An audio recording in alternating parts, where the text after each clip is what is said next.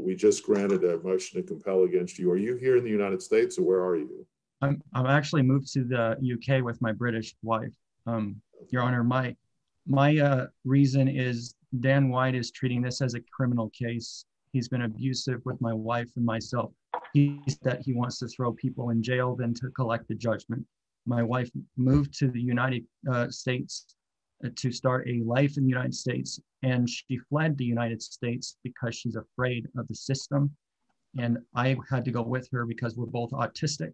We have mental problems, and um, so we wanted to. I, I I had to go with her. Um, I came on here, Your Honor, because I wanted to defend myself against Dan's allegations. Um, I'm not hiding. I I don't want to waste the court's time. That's why I've hired representation so I can properly defend uh, myself, despite that I have moved, Your Honor. Uh, go on the record for this. Yes. Good morning, Your Honor. Just a second. Let's go on the record on cause number DC two zero nine eight nine three. Uh, and Tony, I want to go on the record on the court reporter record too. David Tyler Moss versus Marco Princip uh, all. Uh, counsel make your appearances. Good morning, Your Honor. This is Hunter Nunn, N-U-N-N, and almost Warrants from Warrants and Nunn for the plaintiff's judgment creditors, David Tyler Moss and Fidelisimus LLC. Good day, Good. Judge. This is, this is, oh, go ahead. I'm sorry.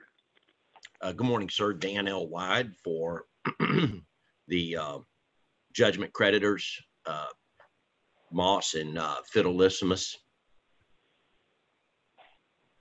And there's another gentleman on the phone. Uh, could you state your name? Yes, yes. Good day, Judge. Uh, this is Jamal Johnson with the law firm of Alex Fernandez on behalf of Brian Martin.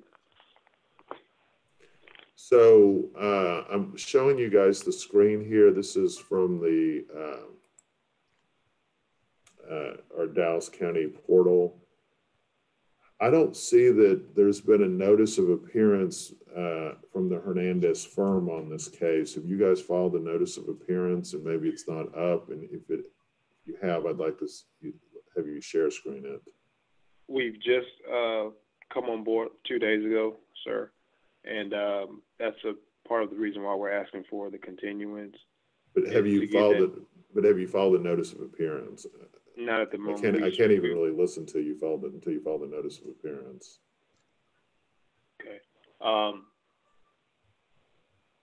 I don't believe one is on the record, but we are making an appearance here at this uh, hearing, and we intend to uh, file that notice today. Okay. What do y'all want to do about, I mean, generally, my position is if you haven't filed a notice of appearance, you're not in the case because Yes, we have no record. We don't know who you are. We don't know if you're an attorney or not. I mean, we don't know anything about you if you haven't filed a notice of appearance.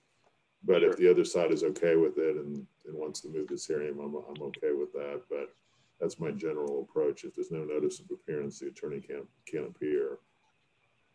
Your Honor, if I may, I'd, I'd like to go ahead and proceed this morning. Are you objecting to uh, the, I'm sorry, I can't, I keep forgetting your, you said it was Jamal something and then with the Hernandez. Jamal what is your- Johnson, but but I'm with Alex Hernandez. Alex Hernandez um, is the firm that's hired, and you know we're going to make a, a notice of uh, appearance today, but you know we definitely want to make an appearance on behalf of the client as we are uh, hired by by the client. What is your feeling about that, uh, Mr. Wide? Well, um,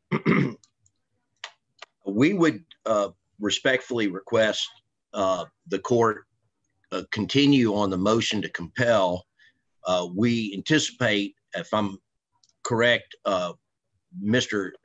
Nunn and Mr. Warrants are going to ask you for seven days for them to provide this discovery that we've been waiting for since last July or this past July, give or take. I think it was due late August. Um, Mr. Martin um, had counsel and he fired uh, earlier uh, in this matter. And if they would like to file a notice of appearance this afternoon and work with Mr. Martin uh, to provide the requested discovery within the next seven days, that would be fine with us. But uh, I will tell you up front, Judge, uh, it's not in my DNA to be anything other than really very candid with the court. Mr. Martin has n- never cooperated with us, and we have no reason to believe he ever will. And uh, if you read the petition that was recently consolidated pursuant to your orders earlier this week, that's now in your court, you will see that time and time again, we've requested this financial data from him, uh, and we never get anywhere. And he's currently hiding out. We have no physical location for him.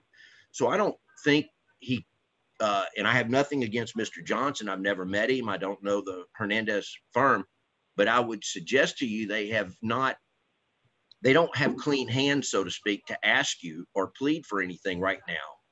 And I will then defer any further comments to Mr. Nunn and Mr. Warren.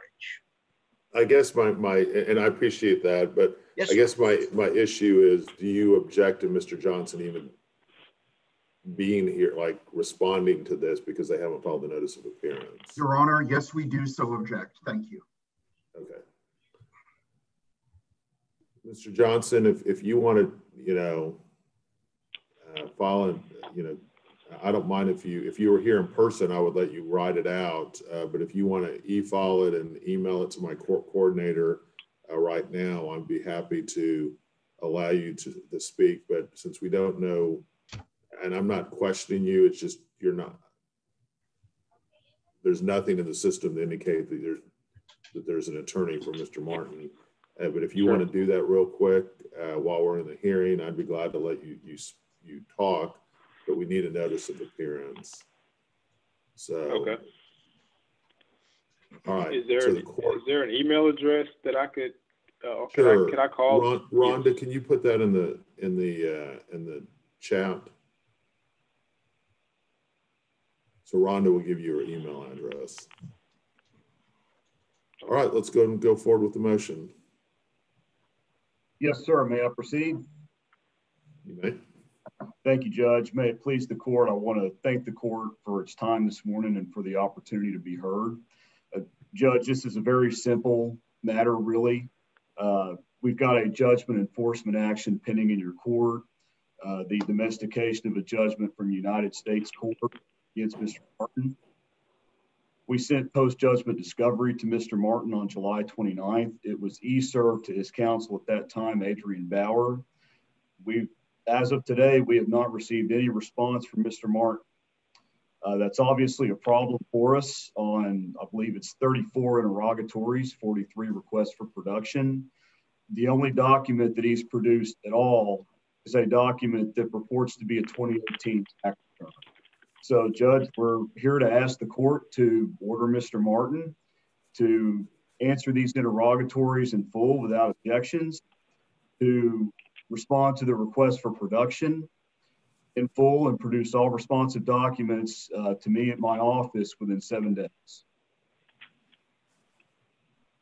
Okay, Mr. Wyde, did you want to say anything?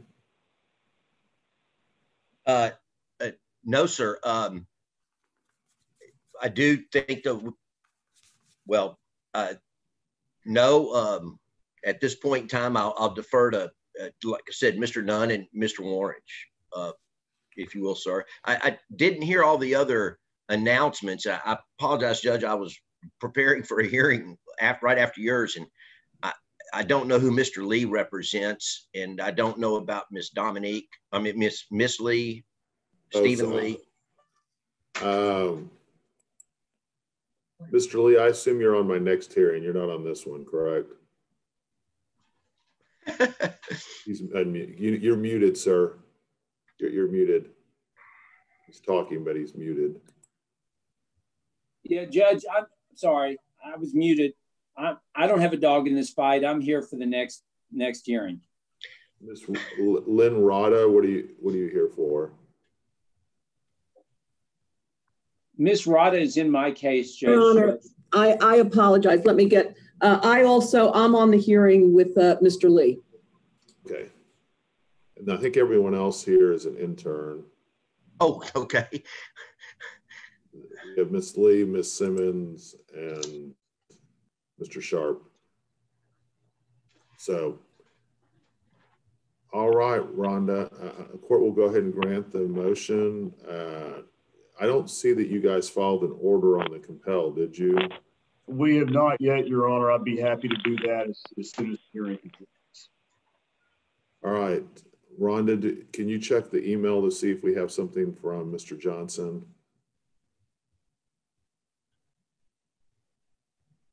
Judge, I still did not see the email address, and I'm having to actually draft a notice of appearance impromptu.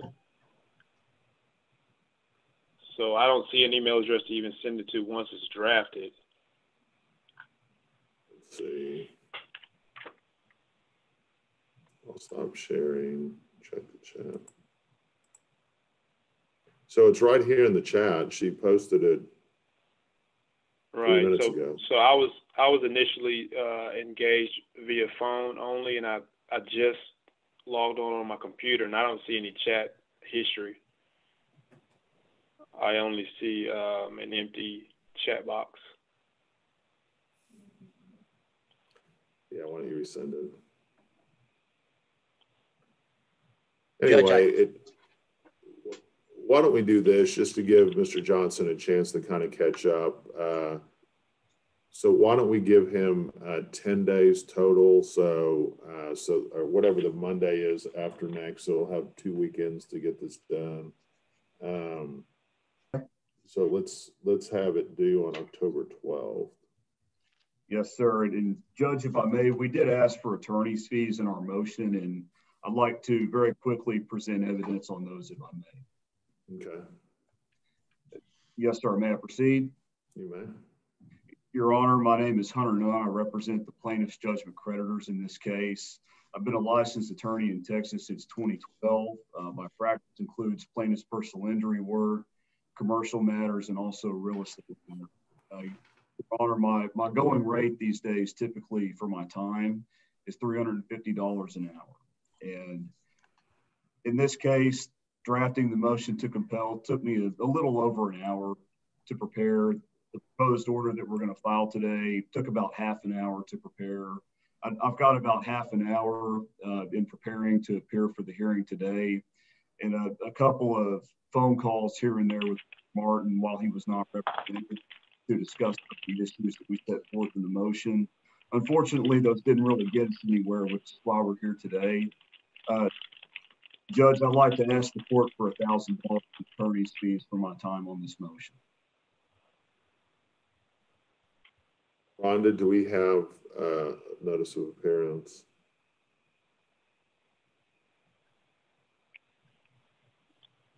Okay, doesn't seem like we do. Uh, All right, so the court will grant, uh, no, we don't have one according to Rhonda. Um, All right, well, we'll go ahead and uh, grant the motion for sanctions to be made payable at the time. Well, I guess we already have a judgment, so um, you know, and I'm going to give Mr. Johnson a chance here. It's going to, I'm going to require a thousand dollars uh, to be paid uh, in 10 days unless uh, answers, adequate answers are filed in that time period. So if, if they file adequate answers uh, that, you know, full, let me say instead of adequate, full and complete answers uh, within 10 days, then um, the court is not going to award sanctions if they do. Uh, if they don't file full and complete answers, then the court will award a thousand dollars in sanctions. Judge, Yes, could I, may I broach a subject with the court that I have not had any experience with on the civil side? Uh, Sure. uh, if it's appropriate. Um, has the court, uh, can the court provide any guidance if a party to a civil action basically flees the country? I mean, what, what are you asking exactly? Well, obviously on the criminal side, you could, you know, amend bond conditions of bond if somebody was on bond. If they're incarcerated pending trial, they're not going to wind up fleeing the country. But Right. Mr. Martin has indicated that he either is living in England or he is going to flee to England.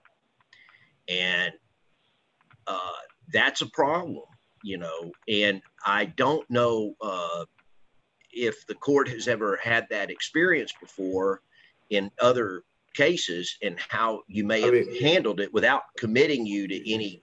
You're, you're, you're, you're asking a really big question there. I mean, a very broad question. I, I think that you need to realize in this particular case, it's about collecting a judgment. And so what you need to be doing is trying to find assets here in the, or find assets, whether it's here in the United States or elsewhere, uh, and start executing on those assets. I think I've made it very clear that I'm willing to do that if it's appropriate, if we can show that they're owned by the ju- judgment creditor or d- judgment debtors. Uh, but we just have to, you just have to be able to prove what exactly is owed and is there fraudulent transfers and things like that. I don't think it's a good strategy by Mr. Martin uh, to do that because if he doesn't have a voice in this process, I'm probably going to be a little bit, you know, if you only hear one side of the story, you're more likely to go with that side. And so uh, the idea that he's going to somehow be able to escape justice because he moves to, especially if his main assets are electronic, we could enforce that here in the United States all day long. Uh, and he doesn't necessarily even need to be here uh, if he's deciding to, to kind of flee the country. Now, it will be more difficult, obviously, to enforce contempt hearings against him, to in- imprison him if that's what needs to happen. Uh, and that's, I've only done that uh, in two cases that I've been involved with that we don't put people in jail as often as you usually do over in criminal court. I have done it, uh, but uh, I think obviously, and my thought would be that you guys want to be focusing on. Okay, I need to find his assets and execute on them, and you don't necessarily need him here to do that, especially if there are, if his main asset is you know YouTube channels and proceeds from YouTube channels and things like that. Uh, yes, sir. And, and I'm fond of making a bunch of trite sayings from time to time, but you know, I'm not involved in any case where I'm trying to set court policy. We, we want to, you know, I, I encourage and I counsel my clients, we're going to do business the way the court decides to do business. We don't do business as private attorneys the way we want to just do business. And so I hope you understand, having not been before you in the past and being entirely familiar with how you handle certain circumstances, we we just while you can't give us advisory opinions and tell us how to practice law, I think we all know that. But Sure. I just wanted to know, you know, in this in my 30 years and especially just the 15 in private practice, not all that long, but I have not come across this situation in a civil matter and just don't have an idea really about how various judges would normally kind of handle that. Uh, I mean, I, I come, I- I'm going to follow the law on this. Yes. And so there's going to be issues potentially with the Hague Convention and all that kind of stuff to be able to get service on him if he goes to England. Uh, but the, the advantage you have is this is a post-judgment action. And so if he doesn't respond, he's already subject to jurisdiction here, in my opinion. And so you can just start executing on his asset and taking it. If he doesn't want to participate, uh, that's, I think, a huge mistake on his part uh, to do that because, um, and I imagine once you start executing on on these different assets that he has, these YouTube channels and proceeds from that, all that kind of stuff, that there'll be people who will show up and say, "Hey, wait a minute, that's not his," or whatever. If, if that's if that's the case, I don't I don't know what the case is, or he might start showing up and go, "Hey, I was getting." Ten thousand dollars a week and now I'm not getting anything. Maybe I need to participate in this process.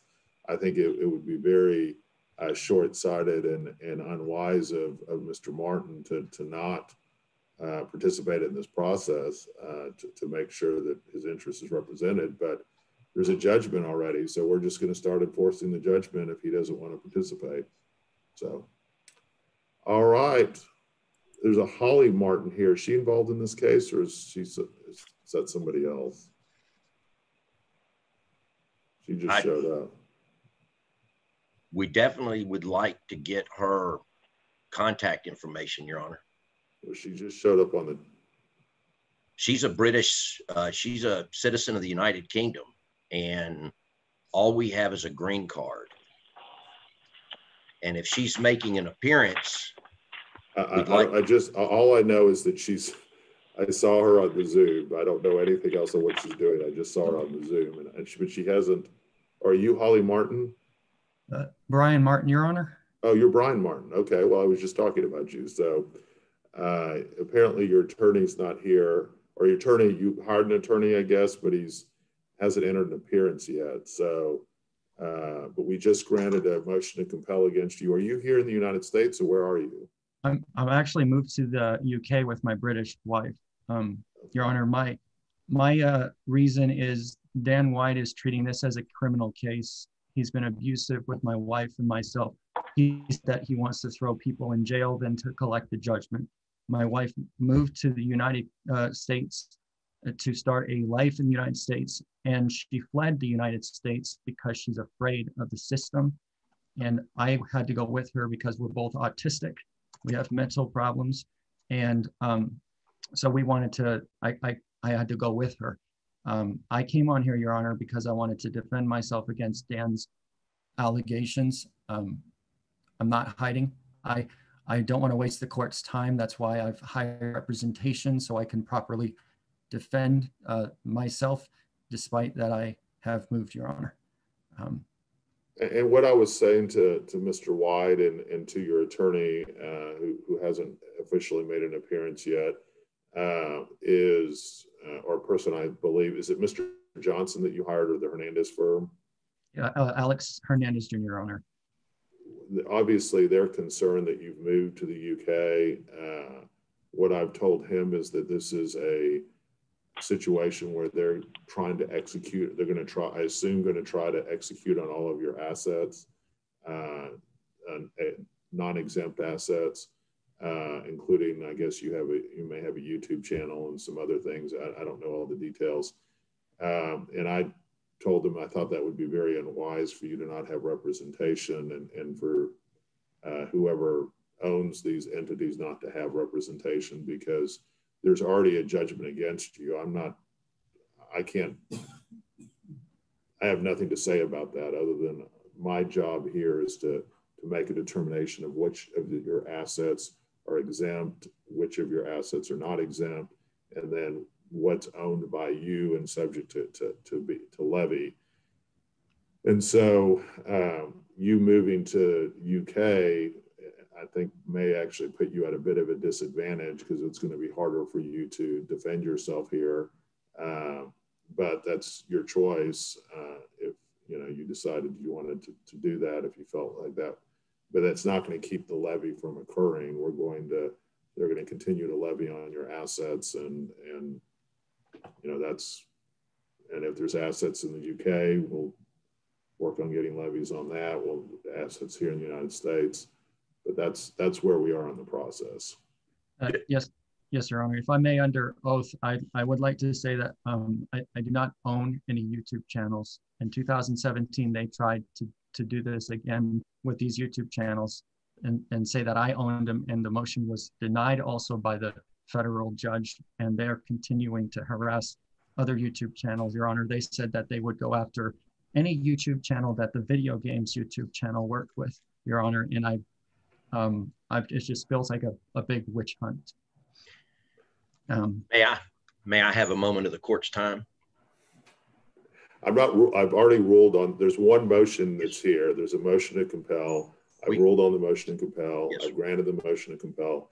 I'm not ruling on any of this stuff But right but- now, Mr. Martin. You have the obligation within 10 days to answer their motion to their uh, request for uh, their their uh, discovery request. If you don't answer those, you'll be sanctioned. Uh, if they attempt to levy on this YouTube channel, uh, then it's going to be up to whoever owns that to, or you to say who is the owner uh, and is there some type of fraudulent transfer, which I think is what they're alleging, if I understand. Um, but no, nothing like that is being decided today. You are Judge. far better off to you, you are far better off, Mr. Martin, to participate in this project process and defend yourself and and whoever owns these YouTube channels, if someone else does, they should participate in this process. But um, that's, I guess I don't really have anything else to say, but that's that's what we're doing today. We, I asked the court to note that he's made an appearance at the motion to compel hearing. And consequently, if we ask the court for guidance uh, on if Mr. Martin terminates counsel and we have to have substituted service, at this point, what we're asking, which has happened, which is what happened in, in July, if you will, or August, which is why we don't have, why we have new, alleged new counsel, Mr. Johnson. But he's made an appearance now in this hearing. And uh, we ask that the court note that he's made that appearance. We're, we're If you on the record, Mr. Wyde, so that's already So- going to be noted. And, and sir, if you could state your full name so the court reporter gets it. My, my, mine, Your Honor? Yes. Uh, it's uh, Brian Dennis Martin, Your Honor. Eh, Are we Did you want something specific from him? Because I know you wanted to serve him maybe via email or YouTube, or not YouTube, um, Facebook or something. Is that? Email and street mailing address, regardless of where he's living and what country. I'm currently in a hotel right now. Um, What is your email address? email, uh, my email address, Your Honor, is uh, xmail.com. And what hotel, may I ask? I'm in a premier, And the street address, please? I, don't know this street address. Um, In- In what city? it's in Clacton, Please spell that for the record. C L A uh, C T O N. And what uh, province or state? I'm not familiar with um, that type of geography. Do they have provinces and states in the UK? I don't know that they do. Okay, so it's just that. Clacton, what country? It is in the United Kingdom. And what country, sir? Is, is this United- Clacton on Sea in England? Um, In Essex, England, Clacton on Sea? Clack, uh, yes, In Essex, England? yes. Thank you. And All right, Miss- guys, I really need to get to my next hearing. So uh, anything else we need to chat about? No, sir, Your Honor. Get me an order on this, uh, Mr. Martin and Mr. Johnson. I would strongly urge you to comply with the order. And uh, we will uh, see you at the next one. Oh, I, I see that Mr. Johnson is raising his hand. Uh, no, that was that was an accident. I was trying to unmute myself. Okay. Okay. That's, that was a new one. All right, guys, thank you so much. You guys be safe, all right? Thank you, Good weekend. Have a good weekend. Thank you, sir. Take care. Okay, I think we have one more hearing.